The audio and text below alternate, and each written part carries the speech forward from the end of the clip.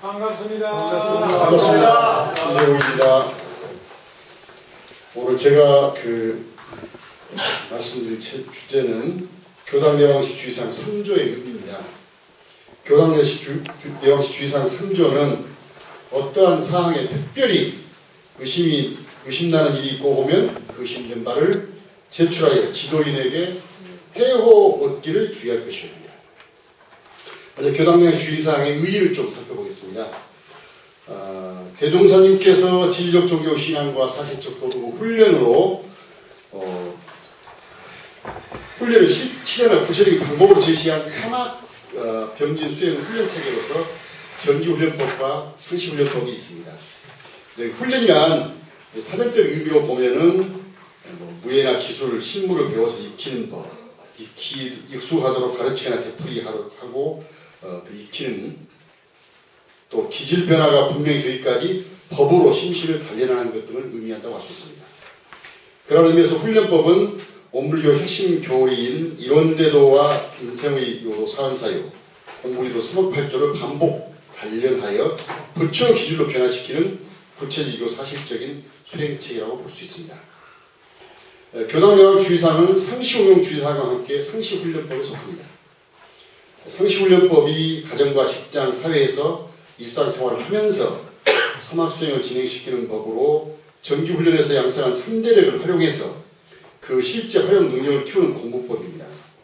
에, 상시훈련법 가운데 상시운용주의사항은 자력을 바탕하여 스스로 훈련하도록 하는 법이라면은 교당 내용 주의사항은 교당과 교화단, 스승과 법동지들과의 원답 감정이나 해오, 법회 참석, 정기 훈련 등을 통해서 타력을 입어서 그 사막 공부를 추진하는 법으로서 이 둘은 자타력을 병제하여 효과적으로 선대력을 양성케 하는 공부법이라는 것입니다. 이 두 가지 훈련법은 서로서로 도움이 되고 바탕이 되어서 제가 출력한 공부인 모두가 항상 공부를 떠나지 않게 하는 길이 됩니다.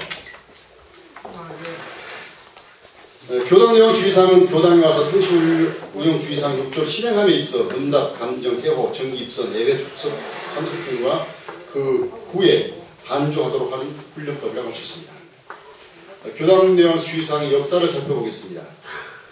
내용 주의사항은 1926년 원기 11년에 발행된 불법 연구회 규약에서 처음 등장합니다. 예, 불법 연구회 규약에는 제가 공부인이 교무부에 와서 하는 책임이라는 제목으로 어, 제시되어 있는데 그 중에 3조만 보면은 어떠한 사항에 대하여 특별히 의심난한 일이 있고 보면 그 의심된 사유를 별지에 등서하여 교무부에 양해 얻기를 주의할 일 이렇게 되어 있습니다. 좀, 그 우리하고 좀 차이가 있지요. 지금 보면은 예, 그 후에 원기 17년에 고경 6대 요령에서 제목이 바뀝니다.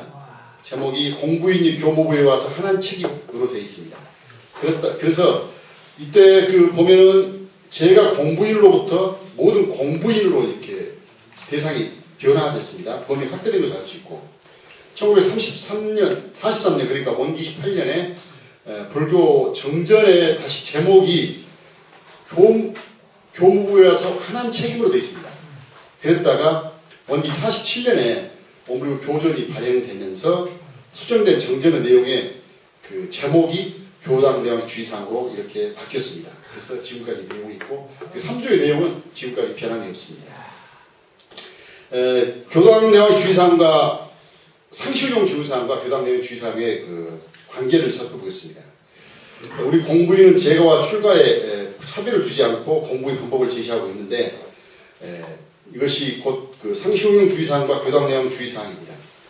대동경 변이품 26장에는 상시운용 주의사항과 교당 내용 주의사항 관계를 묻는 질문에 대동사님께서 상시운용 주의사항은 유무식 남녀로서 선악 귀천을 막론하고 인간 생활을 하여 가면서 어, 성시로 공부할 수 있는 빠른 법이 되고 교당 내용 주의사항은 상시 운용 주의사항의 길을 도와주고 알려주는 법이 된다고 그렇게 공부해 주십니다. 예, 교당 내용 주의사항은 일정한 기간을 통해 교당을 공부하여 자신을 수행한 과정과 결과에 대해 어, 방향의 지도를 받도록 해서 일상생활을 하는 가운데 물샐 틈 없는 공부를 통해 깨달음을 얻을 수 있도록 하는 방법입니다. 대종의 수행품 1장에 보면은 나는 또한 이 챙기는 마음을 실현시키기 위해 상시응용주의상과 교담례항주의상을 정했고 그것을 조사하기 위해 일기법을 두어 물샐 틈 없이 그 수행 방법을 지도했나니 그대들은 이 법대로 부지런히 공부하여 하루속히 초범 일- 입성에 큰 일을 성취할지어다고 본문해 주십니다.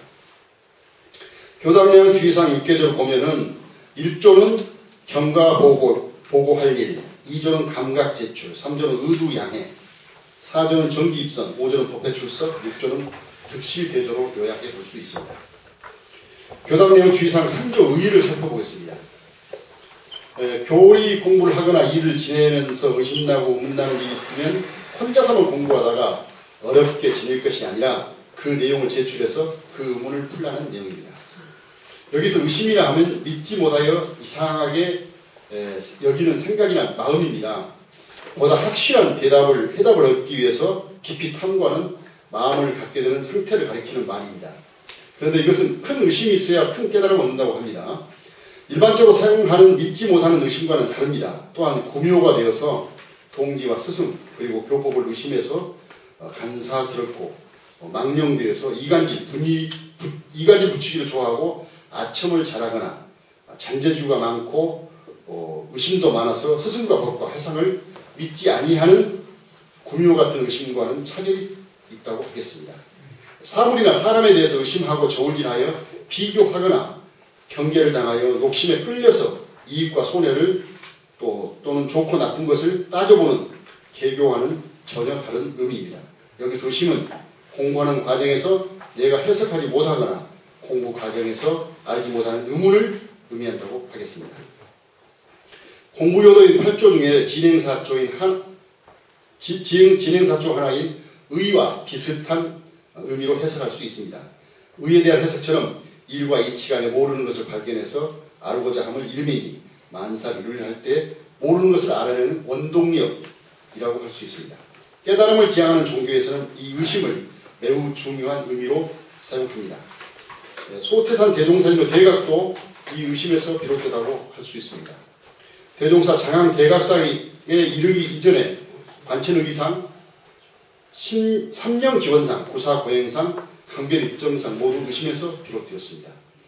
우주 만물의 온갖 이치와 인간 세상의 모든 일에 대해 스스로 큰 의심을 일으키어 깊은 사색에 잠기게 되시고 어, 신통 불가사의가 힘을 가졌다는 선신에 예, 관한 이야기를 듣고 이때부터 선신을 직접 만나서 모든 모든 의심을 풀려 어, 해결을 하는 그런 희망을 갖고 삼밭제 마당바위를 오르내면서 선신을 만나려는 기도를 5년이나 어, 지성으로 어, 계속 하셨습니다. 그리고 도산을 만나서 모든 의심을 해결해 보리라는 결심으로 스승을 찾아 온갖 고행을 거듭하게 되셨는데 예, 그리고 20세가 넘자 산신과 도산은 이야기 속에나 등장하는 가공적인 존재임을 이제 알게 되시죠. 그때부터 이제 내 일을 장차 어찌할까 하는 큰 걱정만 날로 쌓이게 되어서 일체 사랑 공들을 잊어버리고 큰 정에 들기도 하셨다가 26세가 되시던 원기 원년 4월 28일에 크게 진리를 크게 깨치게 된 것입니다.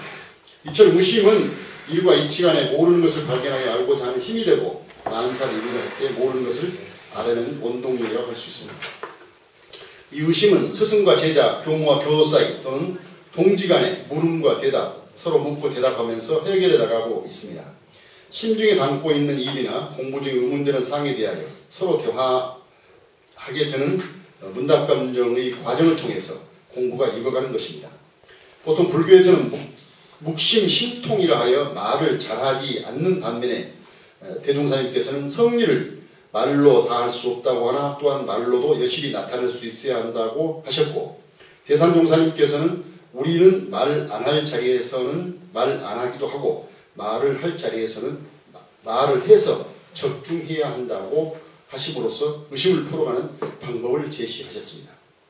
낱말풀이를 통해서 좀 더 쉽게 알아보겠습니다. 지도인은 어, 자신의 공부심을 이끌어주는 스승이나 교무님을 일컬을 수 있으나 사회에서 지자본인을 조목으로 솔성의도와 인사의 덕행이 자기 이상이 되고 보면 스승으로 알 것이오라고 했으니 인사의 덕행이 나보다 나은 사람이면 신분이나 계급, 지위, 나이를 막론하고 자기의 스승으로 삼아서 배우기에 힘써서 인격을 쌓으라는 가르침에 따르면 될 것으로 생각됩니다. 또한 해오에 있어서는 진리를 깨달아 아는 것인데 본내 망상에서 벗어나 진리를 깨닫는 것을 말합니다. 증득하여 하는 증오보다는 낮은 경지로 보는데 진리를 이해하는 수준에서 깨닫는 것을 의미한다고 할 수 있습니다. 결론으로 말씀드리겠습니다. 공부하는 사람이 자기 자신의 고집이나 지식이나 경험에 의존해서 법을 해석하고 의심을 해결함으로써 발생할 문제점을 미리 경계하신 조목으로 해석할 수 있습니다. 특히 신앙과 수행이 깊어가면서 법에 대한 해석이 자유로워지고 교리에 대한 이해가 깊어가면서 일어나는 의심을 나름대로 판단하고 해석하는 여우 한 마리가 들어선에 따라 스승이나 법을 함부로 말하고 해석하고 의심하는 중문백에 빠질 수 있음을 경계하신 내용이라 할수 있습니다. 대동령 40, 수행품 49장에 이 조목이나 기재되는 본문이 있습니다. 대종사 말씀하시기를 기술을 배우는 사람은 그 스승에게 기술을 감정을 받아, 받아야 할 것이요. 도학을 배우는 사람은 그 스승에게 시비의 감정을 받아야 하나니 기술을 배우는 사람이 기술을 감정을 받지 아니하면 그 기술은 줄맞은 기술이 되지 못할 것이요. 도학을 배우는 사람이 시비의 감정을 받지 아니하면 그 공부는 요령 있는 공부가 되지 못하리라.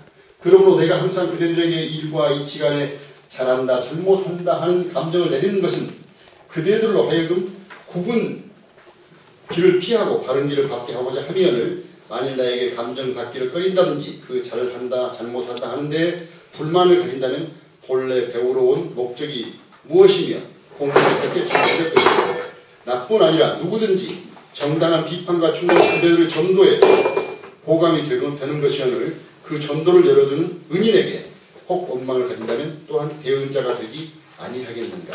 그런즉 그대들은 내가 그대들에게 잘한다 잘못한다 하는 데나 세상이 잘한다 잘못한다 하는 데나 다 같이 감사하는 동시에 공부 참된 요령을 얻어나가기에 더욱 힘쓸지어다. 다시 해주십니다. 또한 법 있는 스승에게 마음을 가림없이 바치는 동시에 옛 서원을 자주 간주하고 충분한 말로가 위태함을 자주 반성하는 것이라 제시하시고 이 지경만 벗어나고 보면 불지에 다름질 않는 것이 비행기 탄격이라 법문하십니다. 전선, 전산종 복사는 신년 법인 법문이신 신성으로 공부합시다. 역시 대종사님 법문과 같다 할 것입니다. 따라서 교당 내왕시 주의사항 3조 어떠한 사항이 특별히 의심나는 일이 있고 보면 그 힘든 바를 제출하여 지도인에게 해오기를 주의할 것이오는 진리와 교법에 바탕한 줄맞은 신앙과 수행을 강조하신 내용이라 할 것입니다. 신성은 믿음에 대한 지극한 정성이고 정성스럽게 받드는 믿는 마음이며 진리와 법과 스승과 회상에 대해서 정성 다해 믿고 받드는 것을 말합니다. 먼저 법을 닫는 그릇이 되고 의도를 해결하는 원동력이 되며 계율을 지키는 근본이 된다 할 것입니다. 진리와 법과 스승에 대해 법맥을 대고 진급하고 은혜를 입을 때까지 줄맞는 공부를 해나갈 것을 다짐해 봅니다. 감사합니다.